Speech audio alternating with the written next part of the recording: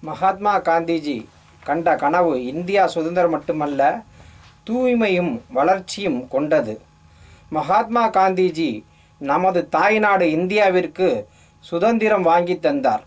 இனி நமது தாய்நாட்டை நாம் சுத்தமாகவும் தூய்மையாகவும் வைத்து தாய்நாட்டிற்கு சேவை செய்வது நமது கடமையாகும்.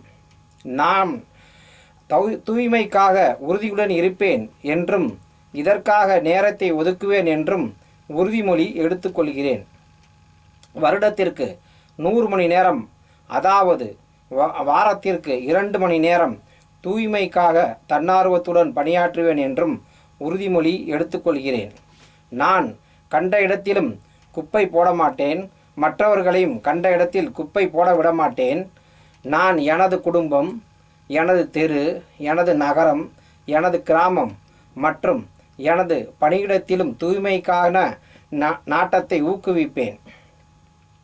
தூய்மையாக உள்ள உலக நாடுகளில் அவர்களின் குடிமக்கள் குப்பை கொட்டுவதில் ஈடுபடுவதில்லை அல்லது அதை நடக்க அனுமதிக்க மாட்டார்கள் என்று நான் நம்புகிறேன். இந்த உறுதியான நம்பிக்கையுடன் கிராமங்கள் மற்றும் நகரங்களில் ஸ்வச் பாரத் மிஷன் பற்றிய செய்தியை பரப்புவேன். இன்று நான் எடுக்கும் இந்த உறுதிமொழியை மற்ற நூறு நபரையும் எடுக்க ஊக்குவிப்பேன். அவர்களின் நூறு மணி நேரத்தை தூய்மைக்காக செலவிட நான் முயற்சி செய்வேன். தூய்மையை நோக்கி நான் எடுக்கும் ஒவ்வொரு அடியும் எனது தாய்நாட்டை தூய்மையாக மாற்ற உதவும் என்று நம்புகிறேன்.